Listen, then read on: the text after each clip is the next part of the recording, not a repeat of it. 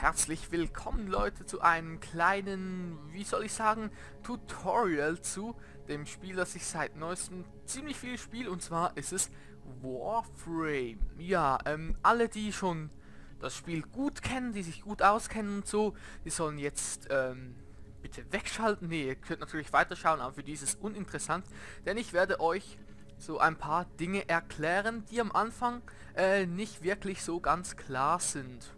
So, ähm, dann am besten schauen wir mal als, äh, uns als erstes das Arsenal an. So, ihr seht hier mein Warframe, ich habe Ember. Ähm, ja, ich habe so ein Vieh hier oben. Das kann man sich hier anschauen, das ist der Sentinel. Und ich habe auch Waffen. So, jetzt erstmal kleine Erklärung, wie mache ich Mods auf meine Waffen? Tja, dazu geht ihr einfach hier auf den Schraubenschlüssel. Zeige ich euch jetzt mal. So, hier ist eine Mod drin, die nehme ich jetzt mal kurz raus. So, jetzt seht ihr hier oben, hat es 6 Punkte.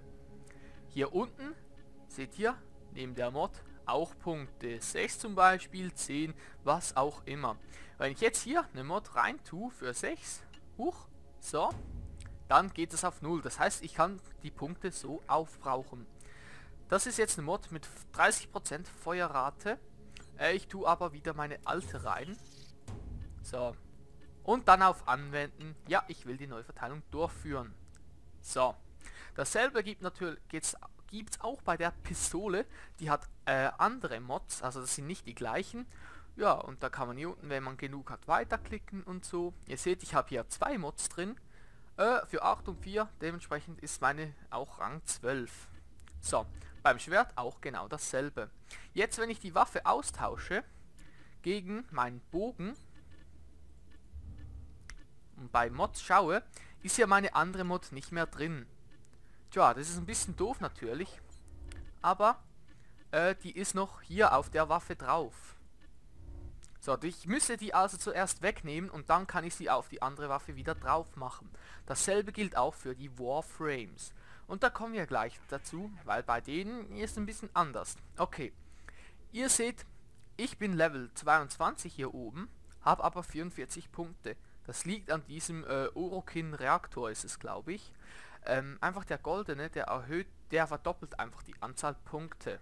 So, Jetzt ähm, nehme ich mal kurz hier eine Mod raus, keine Ahnung, so den hier. Ihr seht, das ist, da steht auch Ember, das heißt, das kann nur mein Warframe haben. Und der kostet 4 Punkte. Hm, wenn ich den jetzt aber reinziehe, verliere ich nur 2. Das liegt daran, dass hier oben diese zwei Striche sind und hier auch. Das heißt, wenn ich den hier reinziehe, kostet so die Hälfte an Punkten. Ja, das ist auch bei Waffen so. Zeige ich euch gleich mal kurz. Nach Möglichkeit. Äh, die Pistole hat auch hier ein Zeichen. Nur habe ich leider noch keine Mod dafür bekommen. So. Ähm, dann einfärben kann man auch. Das muss ich nicht unbedingt zeigen. Hier kann man die Farben anpassen. Und dasselbe gilt mit den Mods auch für einen Sentinel. Wobei, wer einen Sentinel hat, ähm, versteht wahrscheinlich auch bisschen wie das Spiel läuft. Dann kann ich jetzt hier auf Mods klicken. Erstmal all die Mods, die ich auf den Waffen drauf habe, werden hier nicht angezeigt. So, dann möchte ich euch kurz zeigen, ein bisschen wie das funktioniert mit dem Modden. Ich sortiere mal kurz nach Name. Um zu schauen, ob ich was Doppeltes habe, ist es am besten. Ähm, ja, ich habe jetzt, das ist ein bisschen doof, dass ich gerade keine doppelte Mod habe. Das wäre nämlich eigentlich ziemlich gut. So, jetzt erstmal das Mod verbessern. Ich kann hier eine Mod, die ich will, anwählen. Was will ich denn? Was ist ziemlich gut? Ähm, ähm, ähm, ähm. Wo habe ich denn? Hier? Hm, nee, nicht maximale Munition. Das braucht ja niemand. Ähm, da, Feuerschaden für Melee. Brauche ich auch nicht unbedingt gerade. Ähm, was nehme ich denn hier? Magazingröße für die Shotgun. So, jetzt nehme ich das mal. Und jetzt Fusion anwählen.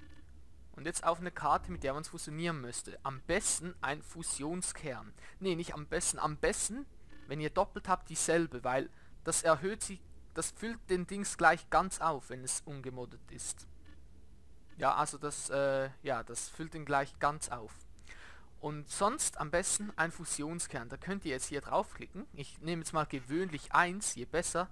Ähm, je höher das ist, der Wert, also von 1 bis 5 geht 5 ist das Beste und selten ist auch das Beste, wie man hier sieht. So, nehme ich jetzt mal gewöhnlich und jetzt seht ihr, steigt es hier. Wenn das voll ist, dann geht es eine, wird hier, kostet die Mod ein Punkt mehr und der Wert verdoppelt sich. Also er verdoppelt sich nicht, sondern er erhöht sich um den Grundwert. Das heißt, es wäre jetzt beim ersten Mal 20%, dann 30, 40 und so weiter. Ähm, man kann es so viel mal aufwerten, wie es hier am Rand so schwarze Punkte gibt. Jetzt könnte ich hier fusionieren. Fragt es mich nochmal, will ich es machen? Für 450 Credits? Ähm, nein, will ich nicht, weil ich habe die Mod schon aufgewertet einmal. So, huch, jetzt bin ich ganz raus. Ähm, ja. Dann noch, wenn ihr jetzt keine Fusionskerne habt, aber und auch keine doppelten und trotzdem unbedingt modden wollt, achtet euch auf die Zeichen da oben. Huch, da jetzt dieses Häkchen oben rechts bei der Karte. Die, wenn ihr solche miteinander vermoddet, dann bringt es auch mehr. Nicht ganz so viel, wie wenn es die genau gleich ist, aber mehr. So, äh, hier kann man noch nach sortieren. Neueste Wertung, Preis, Name, Typ, was auch immer ihr wollt. So, dann kommen wir hier noch zum letzten Punkt beim Arsenal, das Inventar. Man sieht hier äh, alles, was man hat. Äh, die Blaupausen, die man hat, zu denen komme ich noch zu den Blaupausen. Und die Waffen, die man hat. Ich habe jetzt hier äh, keine Waffe mehr. Ich könnte jetzt hier einen Slot kaufen. Das kostet mich aber 12 ähm, echtes Geld. Deshalb mache ich das jetzt nicht. Aber hier sind äh, die Waffen, die man hat. Auch für den Warframe gilt dasselbe. So. Ah ja, und noch wichtig, Entschuldigung, hier unten äh, die Bauteile, die man hat. So. Gut. Zu Kontakten muss ich wohl nicht viel sagen. Könnt ihr hier einfach unten Benutzernamen eingeben und äh, dann sollt ihr euch annehmen. So, dann kommen wir zum Marktplatz. So, das Wichtigste für euch hier natürlich echtes Geld ausgeben. Aber das Wichtigste für euch wahrscheinlich Waffen. So, es gibt hier erstmal ähm, zwei Seiten, besser gesagt ein bisschen mehr, so hier noch mit verschiedenen Waffen. Jetzt seht ihr aber, dass zum Beispiel, jetzt seht ihr hier zum Beispiel die Bronco, die habe ich jetzt nicht, kann ich auch nicht leisten, die kostet 35.000 Credits oder 190 ähm, Echtgeld, also oder ist es. Das heißt, ihr könnt entweder mit Credits oder mit echtem Geld bezahlen. Was ihr auch, äh, ich würde euch Credits dringend empfehlen. Weil das ist viel besser. Jetzt will ich aber vielleicht mir so eine Viper kaufen. Aber die kostet, die kann man nur mit echtem Geld kaufen. Tja, jetzt habe ich, jetzt habe ich Pech gehabt. Dachte ich zumindest zuerst, weil ich kann hier hinten zu den Blaupausen gehen und dann sieht man hier, die Wiper Blaupause kostet 20.000 Credits. Jetzt, was ist die Blaupause? Wenn ihr das kauft, dann kommt, dann ähm, habt ihr das jetzt gekauft mal so. Und dann könnt ihr euch bei der Schmiede, seht ihr hier alle Blaupausen, die ihr habt. Und da seht ihr noch die Teile, die sie benötigen. Jetzt zum Beispiel hier, Mac Systems, habe ich genug, habe ich alle Teile zusammen und das kostet mich nochmals 15.000, um das herzustellen. Das heißt, äh, wenn ihr eine Blaupause von einer Waffe kauft, die 20.000 kostet, braucht ihr erstmal Teile und dann wahrscheinlich nochmals etwa 20.000, um das herzustellen. Die 12 Stunden warten sind es ja nicht so schlimm. Also, du, man kann auch das eigentlich alles auch mit nur Ingame-Geld zusammenkriegen. So, dann gehen wir hier nochmal kurz raus. Ähm, zu den Warframes, da ist es genau dasselbe mit den Blaupausen, nur sind die extrem schwer zu bekommen. Also die Warframes könnt ihr wahrscheinlich erst machen, wenn ihr viel weiter seid. Nicht gleich am Anfang zu denken, hey, ich will einen zweiten Warframe, lieber erstmal ähm, gute Waffen. Dann Pakete, die sind unnötig. Hier kann man das jetzt zum Beispiel nur für ähm, Dings, nur für echtes Geld kaufen, ist aber ein bisschen unnötig, weil hier das sind einfach so, ja, so, also es sieht besser aus dann. Hier zum Beispiel die Farben oder dieser Helm oder so ein Zeugs. Oder der Helm hat manchmal auch eine Fähigkeit, die ist aber nicht unbedingt wirklich viel besser. So, ähm, noch zu der Ausrüstung. Auch hier kann man nur mit echtem Geld kaufen, gewisse Dinge. Aber ehrlich, so eine Munitionskiste braucht ja kein Schwein. Und hier Skin, wer braucht das schon? Ehrlich, also oder auch Farben, mehr Farben. Man hat eigentlich schon ziemlich viele. Also ehrlich, ich, Das braucht man nicht. Höchstens den Orokin-Reaktor, der ist echt gut, aber man kommt auch gut ohne zurecht, muss ich euch sagen. Ja. Ähm, dann was wollte ich euch noch? Ich wollte euch noch was kurzes zeigen. Hier oben gibt es ähm, online. Schauen wir uns das mal kurz an. Wenn ihr auf online geht und dann einen Planeten wählt, dann seht ihr hier Spieleranzahl und da könnt ihr hier drauf und dann kommt ihr halt random in eine Gruppe. Ihr könnt aber auch privat und dann ähm, könnt, spielt ihr nur, also dann können nur Freunde zu euch joinen.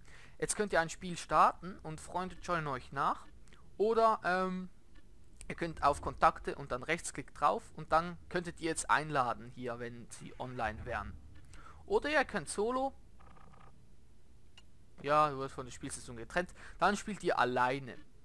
Also dann kann euch auch niemand nachjoinen und so, dann spielt ihr alleine. So. Ähm, ja, dann kommen wir noch zu den Warnungen. Hier unten stehen manchmal Warnungen, jetzt gerade leider nicht. Das ist äh, ein bisschen random. Je nachdem, ob ihr die Map habt oder nicht, auf der die Warnung ist. Die solltet ihr machen, wenn es geht. Ähm, weil die gibt meistens ziemlich viel Geld und wenn ihr Glück habt, noch einen random Gegenstand. Da seht ihr dann, wenn ihr draufklickt, würde so ein Fragezeichen dort. So. Das ist meistens ziemlich gut, da gibt ein Artefakt oder sowas. Artefakte sind extrem geil.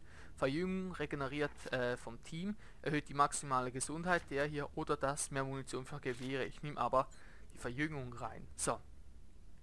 Und noch ein kleiner Tipp, falls ihr Geld bekommen wollt, wenn ihr schon bisschen weiter seid, vielleicht jetzt nicht, wenn ihr schon auf dem neuen Planeten seid, den Boss, den es hier gibt, unbedingt machen, weil von dem Krieg kriegt man eine Schwertblaupause und die kann man dann jedes Mal für 2500 Credits verkaufen. Und dann kriegt man noch ziemlich viele Mods und so dazu. Ja, das ist ziemlich gut zum äh, relativ schnell relativ viel Geld zu bekommen. Ja, dann wär's das eigentlich von diesem kleinen Einführungsvideo. Ich hoffe, ich habe nichts vergessen. Ähm, ich habe euch jetzt wirklich nur so groß erzählt. Ach ja, genau, etwas habe ich noch vergessen, was vielleicht viele ein bisschen merkwürdig finden am Anfang. Hier werde ich jetzt hier... Ähm, wo ist denn die Waffe? Hallo? Wo ist sie denn? Oh nee, habe ich jetzt schon alle Waffen freigeschaltet? Das ist hier, die Heck. Zu wenig EP. Hm, okay, schauen wir mal. Aha, Schrotflinte, bla bla bla. Hier noch Schaden, wie viel Schaden sie macht und so könnt ihr euch alles vorhin anschauen. Für diesen Gegenstand benötigst du mehr EP. Du musst Rang 4 erreichen, bevor du ihn kaufen kannst. Hm, aber haben wir nicht vorhin gesehen? Ich meine, ich bin Rang 22. Rang 22. Und da steht, ich bin ich bin erst Rang 3 oder so und ich muss Rang 4 sein. Hm, aber ich bin doch schon viel höher. Tja, das ist das hier oben beim Bild, das ist euer Rang hier für die Waffen gemeint. Am Anfang, als ich angefangen habe, war man Rang 0 und ist dann sehr schnell auf Rang 1 gestiegen. Mittlerweile beginnt man, glaube ich, bei Rang 1. Und der Balken hier fühlt sich wirklich nur extrem langsam. Also, ja, das dauert schon ziemlich lange. Am Ende von dem Balken gibt es dann eine Abschlussprüfung sozusagen, die aber sehr einfach ist. Meistens muss man eine gewisse Anzahl Gegner ähm, also meist, ich glaube es sind immer vier Wellen, drei oder vier Gegnerwellen, die kommen, äh, immer so etwa an vier Gegner oder so, muss man die mit einer bestimmten Waffe töten. Also entweder mit der Pistole, Nahkampf oder halt das Gewehr. Und dann hat man nur diese Waffe, aber die von einem selber. Also wenn ihr eine gute Pistole habt, könnt ihr die auch benutzen. Tja, ähm, das war's dann aber. Ich wüsste jetzt nicht, was ich sonst noch erklären könnte.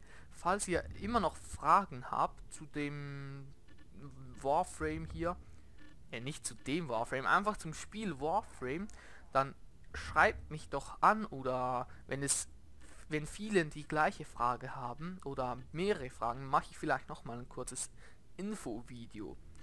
Ja, aber das war es auch schon. Ich hoffe, euch hat es ein bisschen geholfen, euch besser in das Spiel besser in das Spiel reinzukommen.